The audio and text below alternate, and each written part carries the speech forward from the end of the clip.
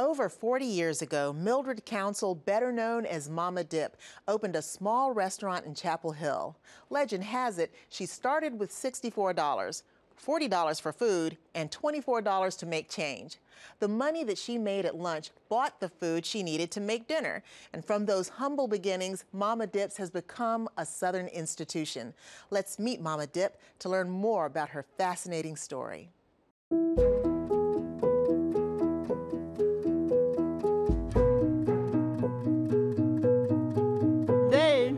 We're going to make uh, fried apple pies. I learned to cook my rate when I was 10 years old.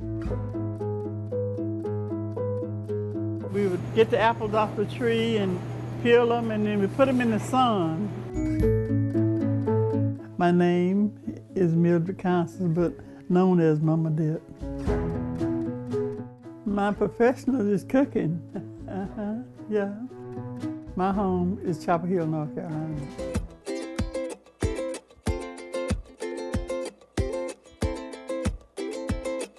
Why did you always like to cook? Why did you love to cook? When I was in the country, it was a must.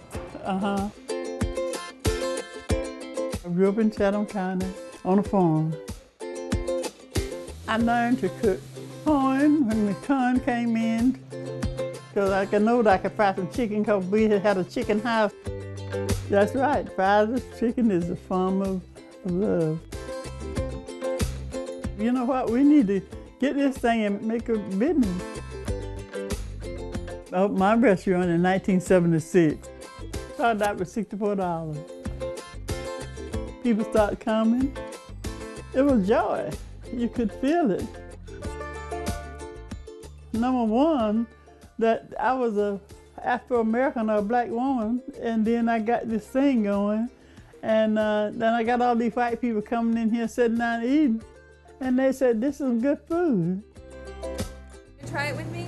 Yeah, but I said, I know that was gonna happen. Oh? You gave me the biggest piece.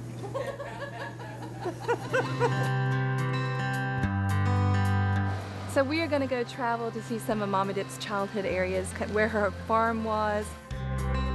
Does it look the same as you remember? No, wasn't no road. Wasn't no. All of them was uh, that road. Mama Dip, where so this area over here was this near where you guys would do the molasses? Yes, ma'am. That's where we molasses at. This is Ella. Me and her, the one that's living. And I made some uh, fried apple pies yesterday. Bring you, you want to take them out and put them in the oven? And I didn't last 10 minutes. At the corn shucking, we cut the corn and we'd put the corn off and have it in a row this long, way on up there. I got my name dipped by going to the spring and dipping up water. I had eight children and every one of them has worked in the, in the restaurant.